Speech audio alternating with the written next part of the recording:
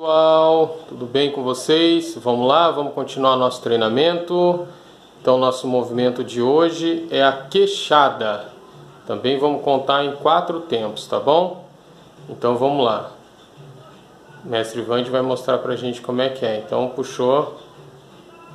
Um, voltou. Dois, três, quatro. De novo, mestre. Foi lá. Um, dois, três, quatro. A outra perna agora. Um, dois, três, quatro. Mais uma vez.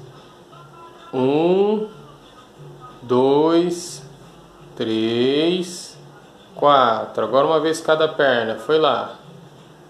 Um, dois, três, quatro, um, dois, três, quatro.